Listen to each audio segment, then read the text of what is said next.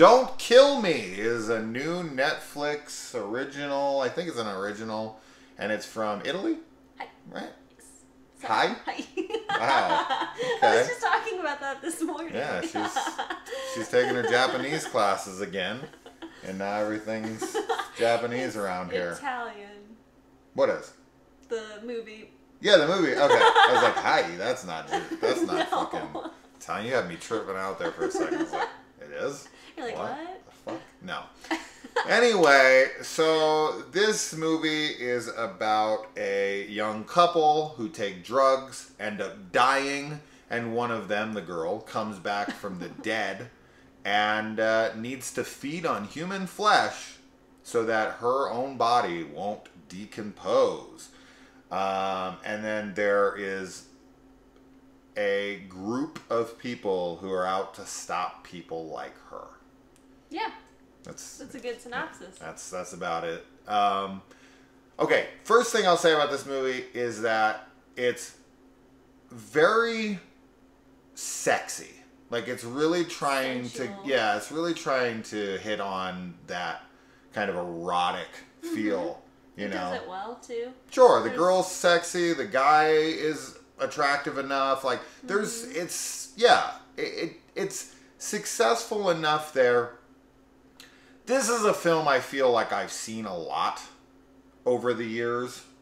Um and this one's it's fine. I was kind of just like eh, like at the end I was just kind of blah on it. Um yeah. I liked the way that it looked. Mm-hmm. I liked the way it was shot. I liked I, the music was definitely different. I For, liked the sound. yeah, for the for this kind of movie, Uh-huh. it, it felt more like nightclub. Yeah, but it was kind of music. That was part of the kind of like sensual part. There's definitely like one song that's really weird, not supposed to be sexy, but like the other musical choices were, and I really liked that as well. Um, but we like we talked about they set up a lot of things that didn't really get followed through with or explained to the extent that I think we would have liked them to be. Um, so it sort of jumped all over the place with a couple different plot points that made it feel a bit messy when you're watching it. So yeah, this film, fine. I feel like I don't know. It's fine. I think when you weigh everything against itself. Like I liked, cer- I like, I liked the way it looked. I liked the music. I liked the girl, and I liked the sexy stuff and stuff like that. So like that stuff was was good. And and as far as like the gore and the horror goes, eh, gore. There's really? not really a lot. The horror is there for sure, but it's not like front and center by any means. No. Um, this is definitely more drama, Romance, romance, thriller-ish with some horror flavor to it. Um, that being said, the film's biggest issue for me by far is that it seems to lack cohesion and direction on where we're going with this. It, okay, I'd say it this way the film has too big of ideas to try to condense into the story that they told. And they tried to do too much in such a short amount of time. There's this group of people who are hunting her. We know fucking almost little to nothing about them. And I could ask 20 questions alone on that group and with what we saw in the film and how they operate and what their point is and where they're from and whether like and do I need all those questions answered all the time and stuff like this? No, I can definitely leave some things like whatever, they're they're they're this, they're that. That's fine. But they just lacked like believability to me. I didn't understand their inclusion. Like I felt like this film could have done without them altogether. Hmm. And then there's something that happens. It's kind of like a reveal. I wouldn't say a twist, but a reveal that didn't make a lot of sense to me, and it begged a lot of questions from the beginning of the movie. A a lot of which I asked her, like, "Well, why then did this happen? Why would they do this if they were gonna do this?" Yeah. You know, it's just it was too many of those. Where then another person comes into the movie, and you're wondering, how did this person find this person? Like, how does this person even know that this person she- is around? Yeah. And then you know, and then it, you've always got to accept in these kind of like Dexter esque things where people are hunting bad people. You've always got to accept like, okay, they're just gonna find an abundance of bad people that are always in their vicinity, and they're gonna, you know, happen upon them while they're in the midst of doing something god awful. Sure. You just have to accept that that happens, because I've I've been around and I have went to clubs and bars and fucking seedy areas, and I grew up in shitty places. And honestly, like the amount of times I've seen people that outright are doing something that would make me be like, that person should die. Like Right. I, I know for sure this person's horrible. He's beating the shit out of this girl in public. He's raping a kid. He's Right. whatever. I've seen that maybe twice in my life. Hmm. In my life. In these movies, they make it seem like it's in every like hour occurrence Right, on every every corner Yeah, in every alley somebody's getting raped somebody's getting tortured somebody's whatever molested Well, and it's also when there's like any kind of supernatural element in a film like that, where there is a you know a drive to find bad people. You can obviously fill in the the blank of like maybe there's a supernatural means that's helping them. every alleyway But- in these movies is filled with people raping people it's just Every alley. so ridiculous what are the cops doing in this town Nothing. That's why but that's that's that thing you accept Yeah. in movies like this it's like okay there's a bad guy and he's doing bad things and i want him to die or her to die whatever i'm fine with that. that that's more not a knock that's just me making fun of movies and what they always do and we just mm. as the audience have to accept it plus i'm trying to point out that i am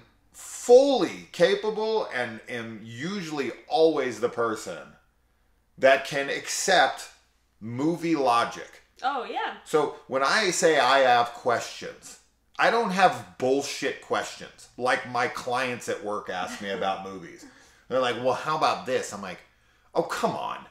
That's just movie logic. Don't think about that kind of shit." I am fully aware of like what what like the parameters of reality is within film. Sure. I don't care when things are convenient as long as they're not blatantly convenient. Yeah. Like it's like, okay, yeah, they're gonna cross paths. That's fine. I don't care. That's the whole care. point of the movie. Right. So that's fine. I don't care. But when it's just question after question after question that just doesn't add up to what I'm being told and doesn't pass the test of movie logic, then I'm irritated. Then I'm Mm-hmm. checked out of the film. Then I'm then I'm thinking more about those questions than focusing on the next scene. Yeah. And that's distracting. Absolutely. Because then I'm like, is. What happened there? Yeah. And we then you go and the next scene's it. happening and you're like kind of talking about it. And you're like, oh, what, what happened in that scene? Fuck, I missed it because I'm talking about the last scene that didn't make any fucking sense. And it's it's those scenes that you go, this isn't gonna ever make sense, right? The way they've set it up, I know I'm not getting an explanation, Yeah. and it's frustrating to me. It is frustrating.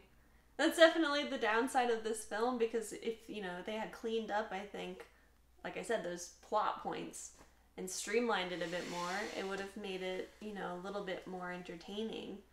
But yeah, the questions definitely hinder it, and they're not, like you said, bullshit questions. They're ones that are pretty important if you're trying to follow the logic that they set up in the film itself.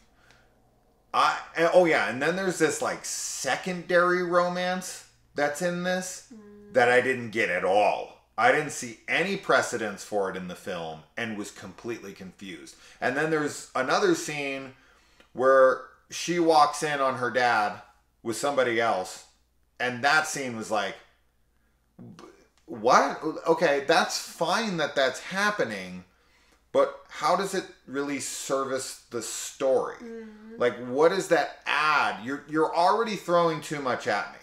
You're you're you're introducing me to the overdead, right? Which is its whole thing. Which they're fucking zombies, but they're you know they're different enough from like the Romero esque kind of zombies that they're sentient and, and totally self aware and Yeah. are normal people that decompose if they don't consume, which I've definitely seen um, multiple times uh, throughout watching these kinds of movies.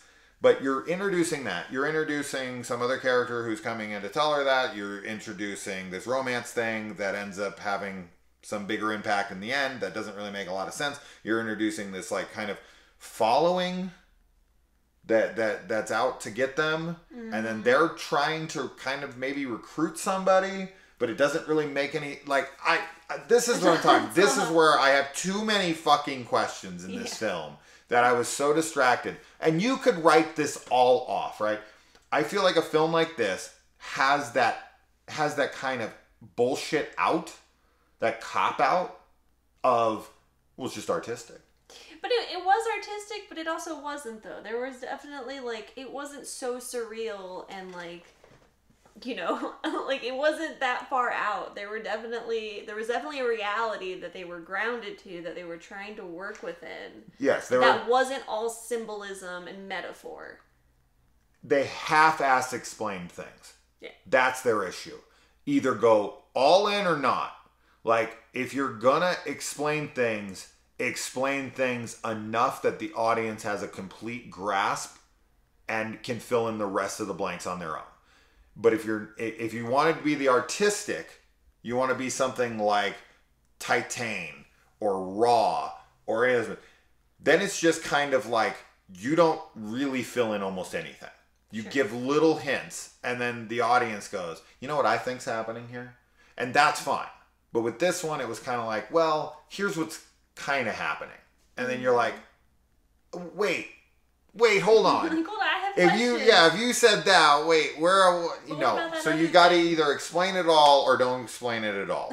Like that's it. That's that's your two options to me when it comes to these kinds of movies. So the artistic thing if you're going to be artistic and you're not going to explain yourself then give me less. Give me less, less, than yeah. this because then I wouldn't be plagued by the questions because it's the sh- it's the half-ass answers that I've given Mm, that make that give me more questions Yeah. that I would not have had had you not given me half-ass explanations. Sure. And I feel like the whole like the the I already said the you know the group that's hunting them. I feel like they could be completely excised from the film altogether or this film needs an extra 20 minutes at least to flesh out them, to flesh out the other girl that comes into the movie, to flesh out the ending, to flesh out like Yeah.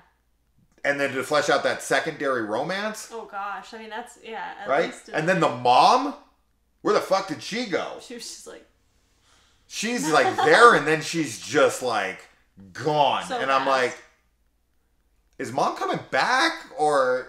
you're like where where'd she go? Yeah, Yeah, that was weird. That was all. It was all over the place with that kind of thing. You know, where you're jumping from kind of character to character, and subplot to subplot. yeah, So it was very distracting, as you said. yeah, And yeah, I'm gonna say like yeah. No, for sure. I'm not a recommendation for uh, for me, um, but yeah, I mean, if you want to see some hot chick take her clothes off, she got does take her clothes off. you got that. I don't know. My outside of that, I don't really have much else to say about the film. yeah, me either. So I'm done. Bye. Bye.